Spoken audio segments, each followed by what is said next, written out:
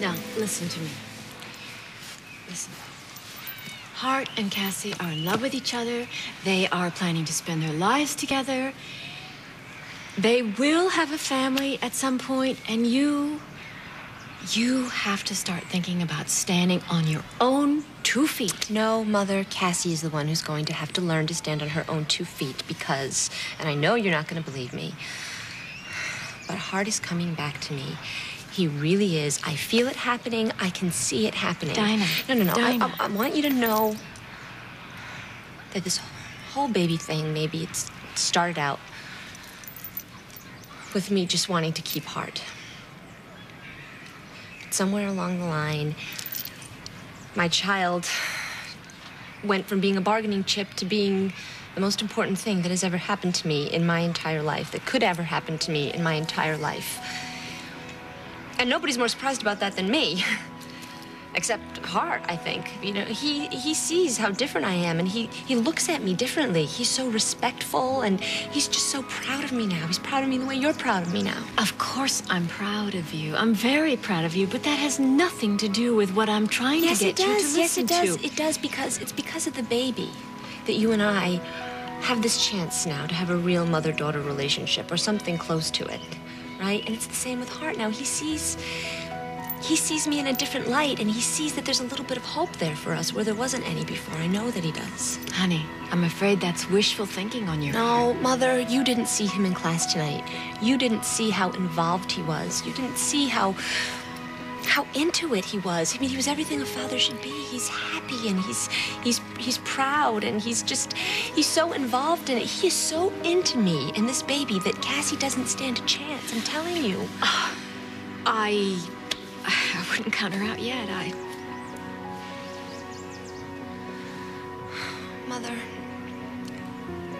I've never been one of those people who dreams about happy endings because most things don't work out for me, and I'm pretty much used to that.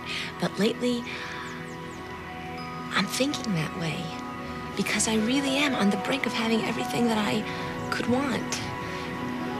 Everything I've ever wanted, so don't don't take that away from me by being negative about this.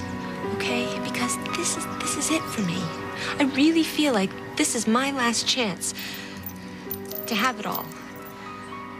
And if you love me, then you'll want it for me. But I, I want you to want it because you see, too, that I've changed. And I'm really trying to deserve all of this happiness.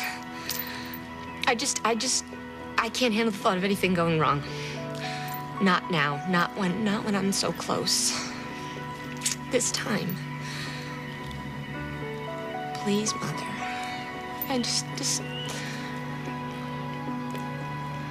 Tell me that you believe that I can have this, that I can be happy.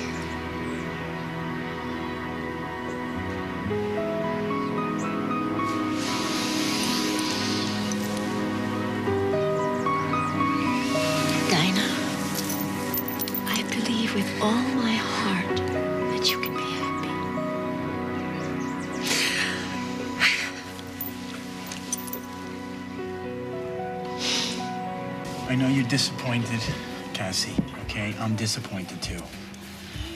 But this is life, you know? This is life. I mean, if it were a perfect world, it would be you and me and no one else, but it's not a perfect world. And I have responsibilities here. You know, you know, this this baby, it used to be some concept, some some distant concept to me, but now with the classes and the due date coming up, I'm telling you, I'm starting to get these feelings. Hart, I really needed to be alone with you, okay? I really have to talk to you about something that's really, really important.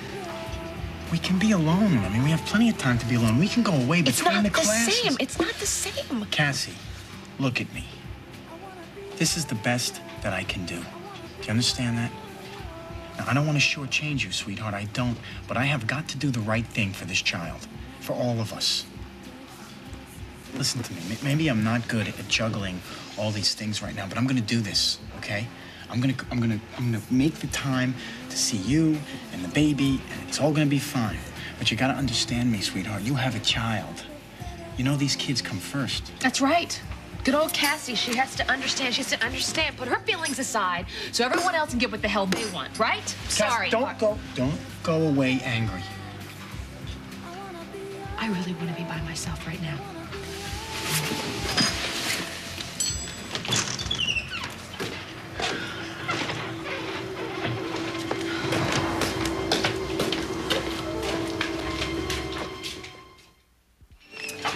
Ha ha! Hi! It's about time. Patty melt, booth three.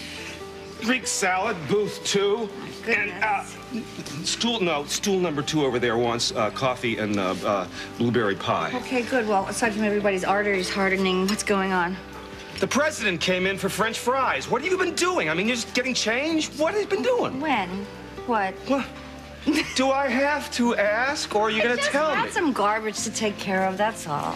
Nothing, really. Okay. I guess I'll tell you something instead. Um, I'm glad you stood up for Jesse. You know, he's he's wild, but you know, I was too at that age, and uh, Oh, he has a good heart. Well, why don't we forget about Jesse? I want to hear about your wild side.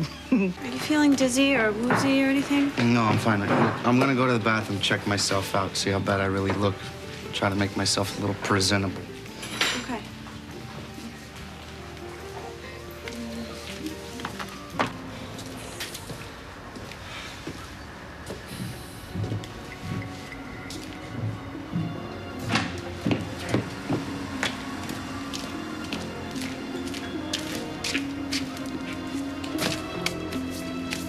Sorry, I didn't mean to scare you. I was just looking for a quiet place to smoke. You know, you know how it is these days. You want one? No thanks. You know, you have the most beautiful face. It's just perfect. Say hello to Jesse for me.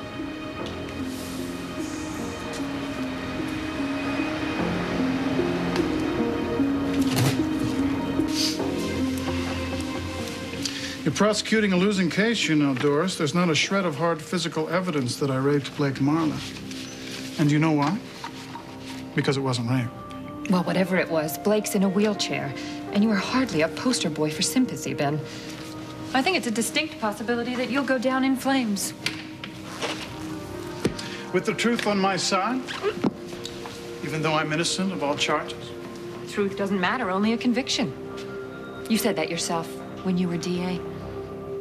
You may or may not be guilty of raping Blake Marler. But one thing is for sure, you are rotten to the core and guilty of God knows how many other crimes. And I think it's a certain justice that you're getting nailed this time, don't you? If you're counting on Mrs. Marler to bail you out, your chances are slim to none. Hmm. Oh, I'm glad you're home. I missed you. I'm glad to be home, believe me. How did the deposition go? It didn't go very well for Ben, that's for sure. What do you mean? Well, his case is falling apart in chunks, and he tried that old trick of turning the tables on you, making the innocent look like uh, victims. Didn't work, and now he's sweating it out.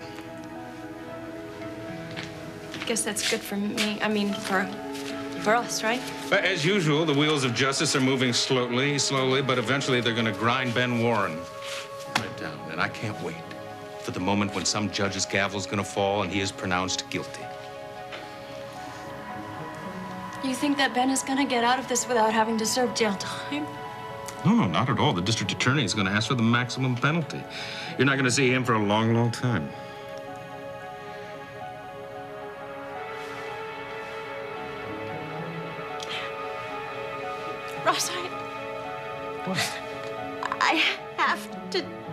Something.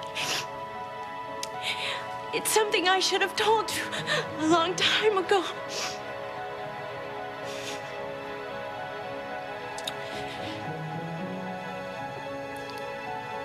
The truth about what happened with me and Ben that night.